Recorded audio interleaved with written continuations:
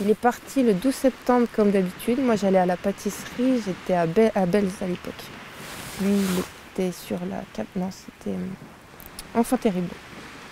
Et puis il s'entendait pas avec le patron, ça avait déjà gueulé plusieurs fois, donc déjà il n'y avait pas une bonne ambiance. Et j'ai eu un appel en sortant de l'hôpital. Comme quoi Daniel était litreuillé et puis qu'il arrivait à Lorient et qu'il fallait aller le chercher.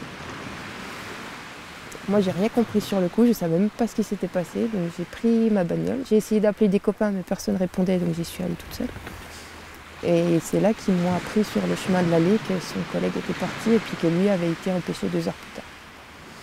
Donc concrètement, moi j'ai eu la chance de ne pas le subir vraiment.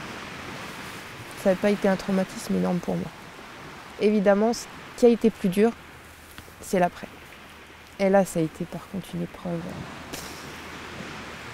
Toutes les nuits, toutes les nuits, toutes les nuits, toutes les nuits, il y avait un cauchemar et puis les, draps étaient trempés de sueur. Ça, c'était, chiant.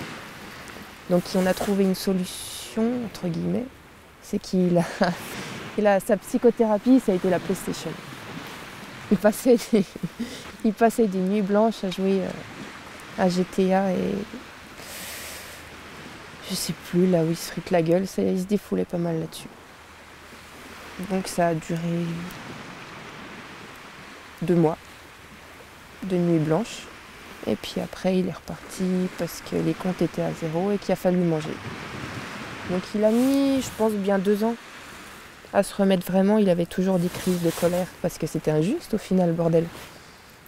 Pourquoi est-ce que j'ai pas réussi à le, à le rattraper? Parce qu'il s'en est voulu, mais voulu terriblement de ne pas réussir à sortir son copain. Et c'est la culpabilité qui l'a rangé énormément.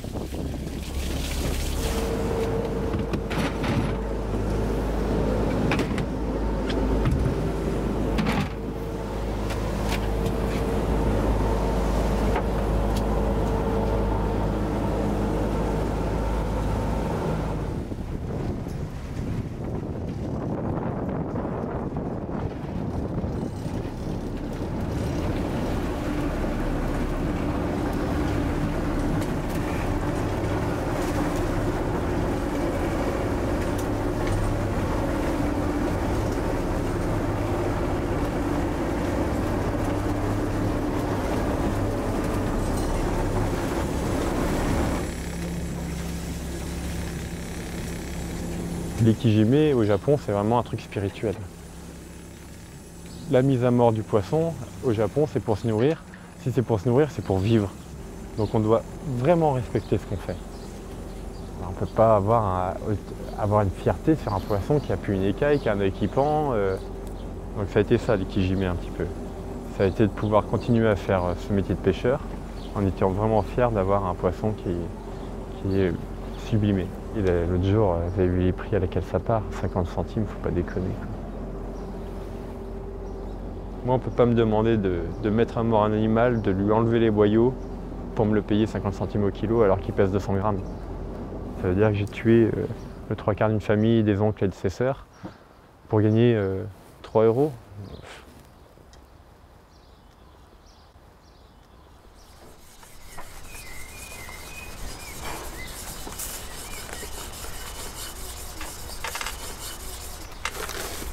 on met à mort le cochon des 3 ans du bateau. Parce que ça sera pas un cochon, ce sera un agneau. Ce sera un peu plus dur à tuer, c'est un peu plus mignon. Ce sera meilleur qu'un putain d'agneau qui est mort euh, derrière son, petit frère euh, dans un couloir en inox euh, après 6 heures de camion depuis la Pologne. Donc c'est pour ça on mange pratiquement plus de viande, mais par contre quand on la mange, on prend tous les aspects négatifs que ça peut apporter. On doit se séparer de la carcasse, des boyaux, des poils.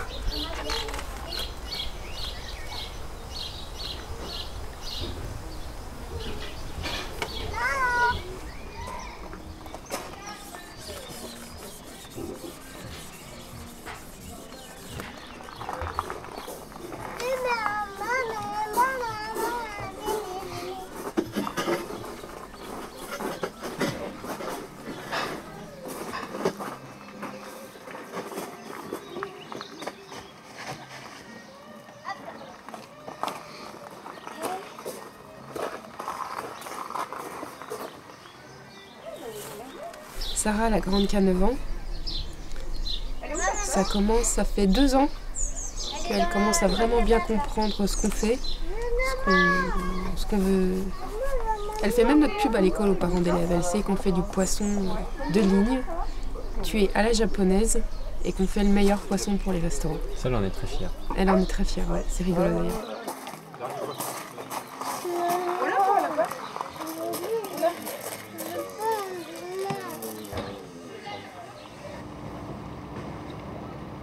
Et les petites et moi, c'est un petit peu le moteur pour aller en mer. Donc je me sens pas pareil des autres femmes. Elles, elles ont qu'une peur au ventre, c'est qu'il y a un accident sur le bateau. Moi, j'essaye de pas y pousser.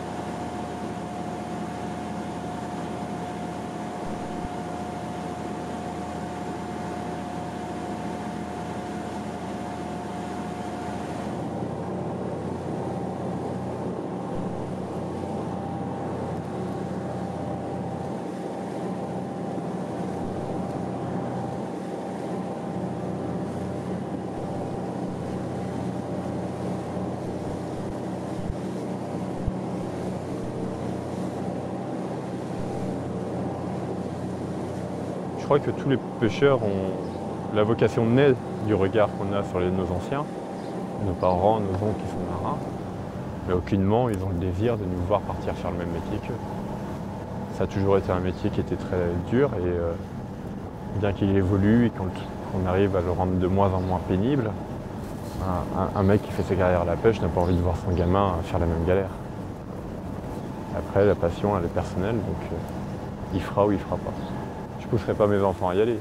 Par contre, si j'ai une de mes deux petites qui est super motivée euh, à, à faire de la pêche, euh, je l'accompagnerai.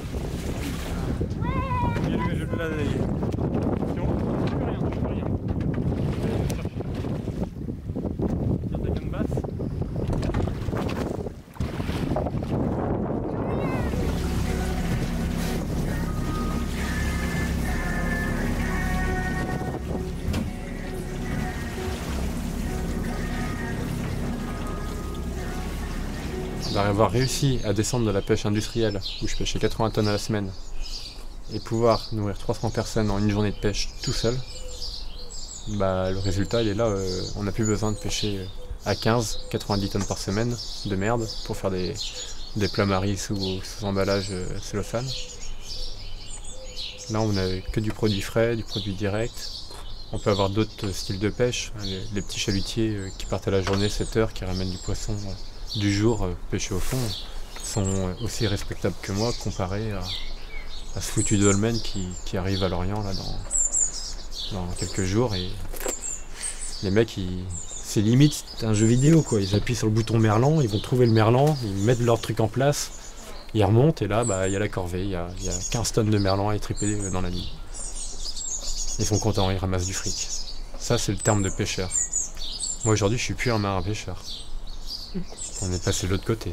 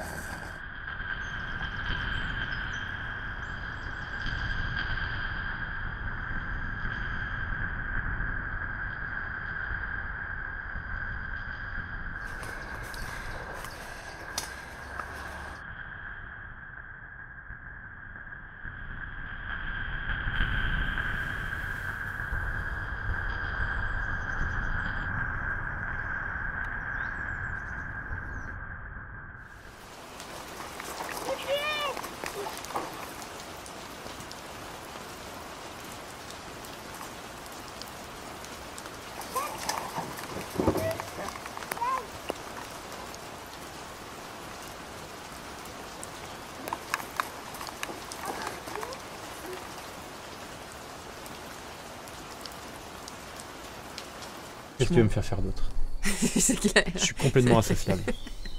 Je travaille dans une entreprise, le mec qui me rentre dedans, le mec qui me va dans le pif, ça finira en bataille. Et frustré de ne pas réussir à se battre contre moi, il va m'attaquer physiquement. Du coup, bah, il sera perdant dans tous les cas.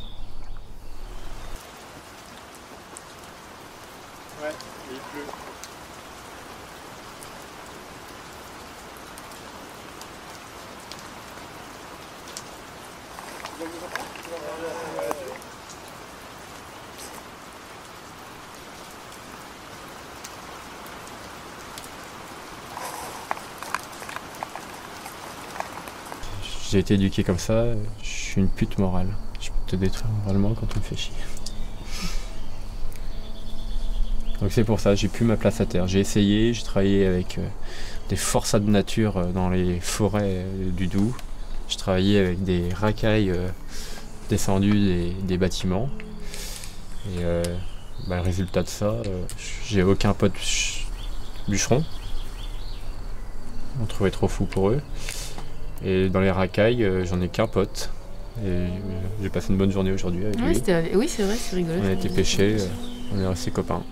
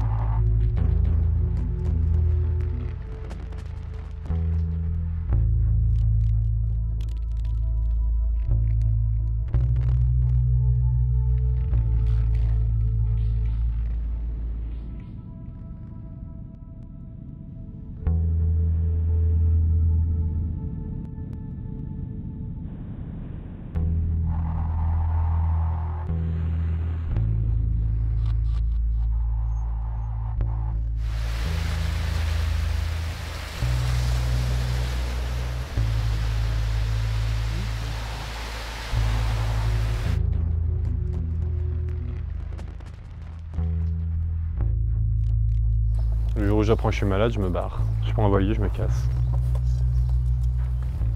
Je vais pas faire chier les gens euh, tellement je fais. Je prends mon voilier, je me casse. J'irai voir jusqu'à où je peux aller. A pas vieux os dans la pêche. hein. Quand on va à la retraite, euh, c'est qu'on peut plus aller en mer. C'est qu'on lui dit non, c'est mort, vous pouvez plus. Techniquement, le corps il suit plus. Vous n'allez plus en mer. C'est vraiment un métier de fou. Faut être fou pour faire ce métier-là. Ça ne marchera pas autrement. Mais à partir du moment où tu le sais que t'es fou, t'arrives à contrôler tes pulsions. C'est ça le truc. Faut juste savoir que tu l'es. T'es moins dangereux.